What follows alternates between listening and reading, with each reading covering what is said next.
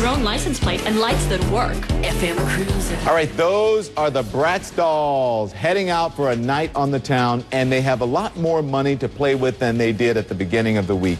Millions more, in fact. The Bratz are just one of the big legal stories I covered with Sunny Hostin, contributor to In Session on our sister network, truTV. Before we discuss dolls, I asked Sunny about problems facing one of the best known names in American sports. We were talking about kids. Now let's talk about dolls. And these Bratz dolls, you've seen them. They're like the anti-Barbie.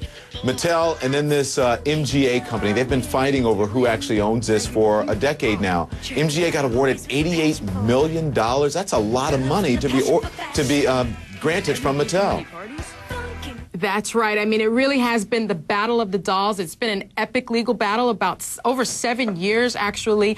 And Really, this Thursday, I would say Bratz kicked Barbie's butt. They basically found this federal jury, after a, a full blown trial, found that actually Barbie did not um, own the rights to the Bratz dolls. It was the Bratz dolls that, uh, it was Barbie actually, that misappropriated Bratz's trade secrets. This all really stems from the fact that the maker, the designer of Bratz was working for Barbie, working mm. for Mattel when he dreamed up this incredibly lucrative billion dollar idea. Mattel fought back for years, basically saying we own the rights to Bratz.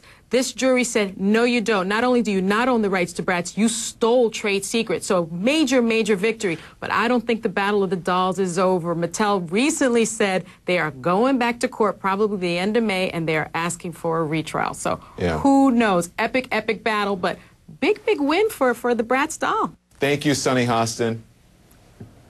I bet Sunny Hostin, I bet Sunny looks great in hats, and I bet uh, Barbie does as well, and probably those Brat dolls. Take a look at these hats. Any of them catch your eye for Easter or the royal wedding? We're going to talk hats and hat etiquette. Maybe I'll even try some on. If you stick around, you'll see.